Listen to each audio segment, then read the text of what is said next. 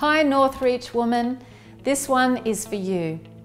Beginning the new year, plans are afoot to introduce a space for connecting with one another in new ways under the banner of Northreach Women.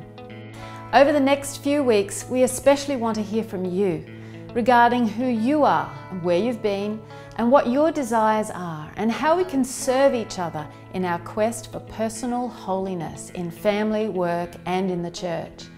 So if you see us at the back of the auditorium, grab your friends and drop by the table with a W. Let's make 2021 a year of bouncing back, regaining our purpose and identity, reaching out to each other and drawing in more tightly the cords that bind us together. With that in mind, here is a date claimer. Saturday, February the 13th from 9am to 12pm. More information will be released shortly, but for now, please put this morning aside in your calendar for our inaugural Women's Gathering. This is just the beginning, so spread the word with your friends when chatting on social media or catching up over coffee. Let your face be seen and your voice heard.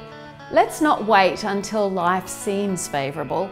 Let's reach out right here, right now and grab a fresh vision. Again, that date for your calendar is Saturday, February the 13th from 9am to 12pm. See you this month at the table with a W.